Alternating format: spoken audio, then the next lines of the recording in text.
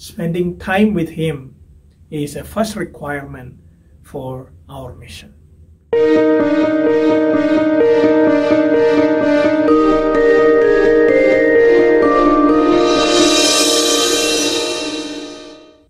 Good morning, family and friends.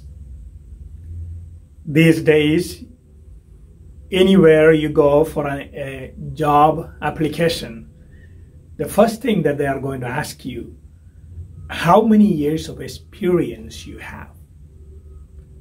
We are sure we need field experience in order to get a job in any field.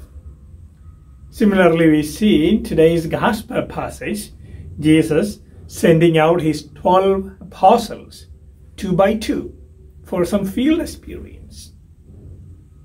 Jesus said to them, No money, no food, no haversack, no purse, nothing. Just go. It would have been difficult for the apostles.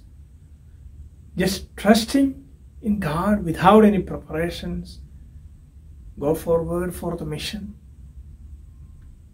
Jesus sent out two by two. First of all, to witness to this world how they relate and react and interact and so on. Secondly, watch how these apostles were prepared. They did not have any college degrees, any special intensive courses that they had to go through. They just lived with Jesus, observed him, learned from him how he did the miracles, how he prayed to his heavenly Father. Probably that's what we, as the disciples of Jesus, have to follow.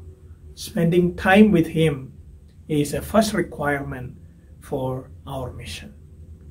Learning from him.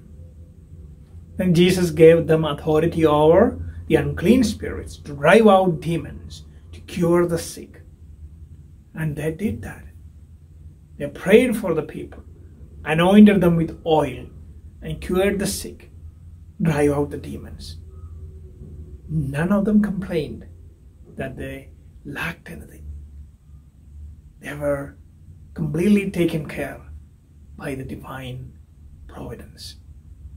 God may give us the same trust, enthusiasm, and guidance to do the missions May God bless us.